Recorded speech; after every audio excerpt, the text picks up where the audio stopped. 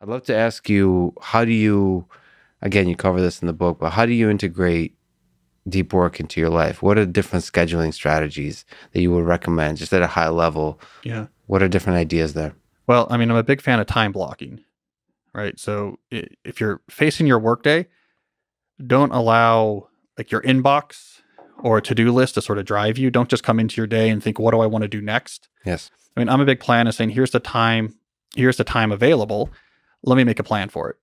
Right. So I have a meeting here, I have an appointment here. Here's what's left. What do I actually want to do with it? So in this half hour, I'm going to work on this. For this 90 minute block, I'm going to work on that. And during this hour, I'm going to try to fit this in. And then actually I have this half hour gap between two meetings. So why don't I take advantage of that to go run five errands? I can kind of batch those together. But blocking out in advance, this is what I want to do with the time available. I mean, I find that's much more effective. Now, once you're doing this, once you're in a discipline of time blocking, it's much easier to actually see this is where I want, for example, the deep work. And I can get a handle on the other things that need to happen and find better places to, to fit them so I can prioritize this. And you're going to get a lot more of that done than if it's just going through your day and saying, what's next? I schedule every single day kind of thing. So it's like try to in the morning to try to uh, have a plan. Yeah. So, you know, I do a quarterly, weekly, daily planning. So at the semester or quarterly level, I have a, a big picture vision for what I'm trying to get done, you know, during the fall, let's say, or during the winter. Like I want these are there's a deadline coming up for academic papers at the end of the season. Here's what I'm working on. I want to have this many chapters done of a book, something like this. Like you have the the big picture vision of, of what you want to get done.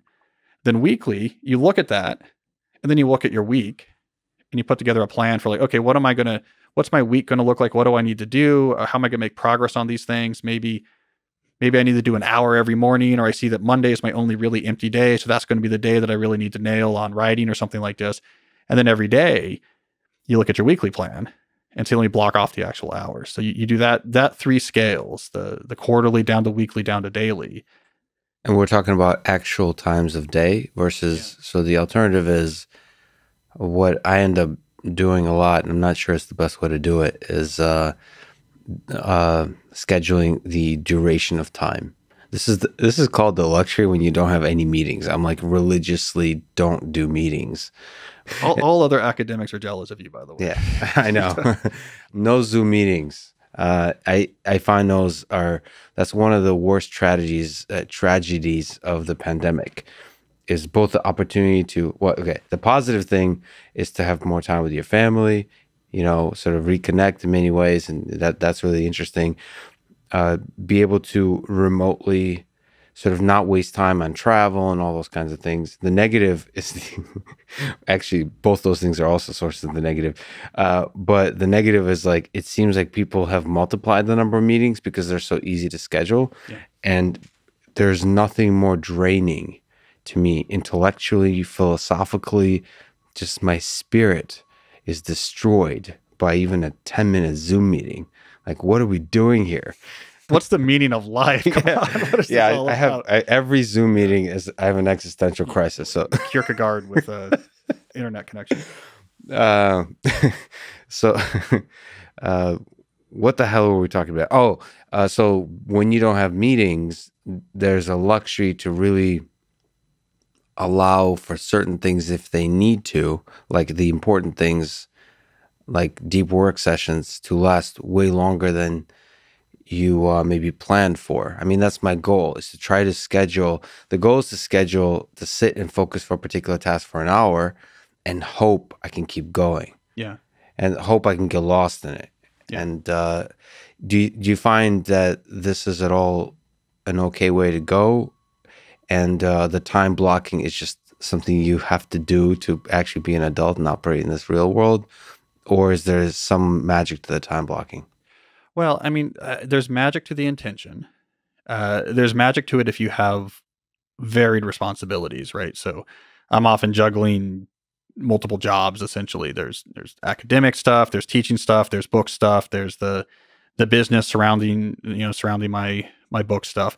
But I'm of your same mindset. If a deep work session is going well, you just rock and roll and let it let it go on. So like one of the, the big keys of time block, at least the way I do it. So I even, you know, sell this planner to help people time block.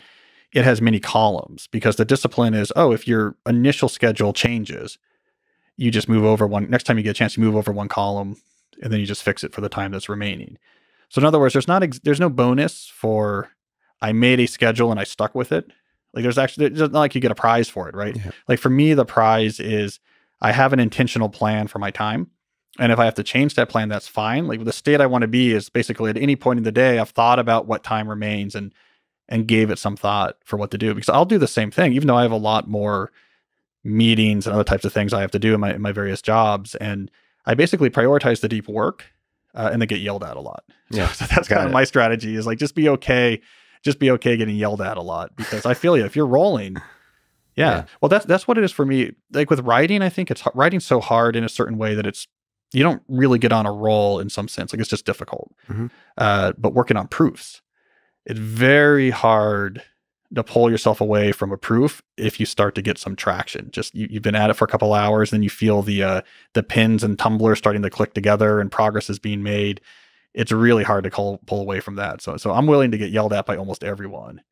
Of course, there is also uh, a positive effect to uh, pulling yourself out of it when things are going great, because then you're kind of excited to resume, Yeah, as opposed to stopping on a on a dead end. that's true. That the, there's an uh, the yeah there's a uh, there's an extra force of procrastination that comes with if you stop on a dead end to return to the task. Yeah, or a, or a cold start.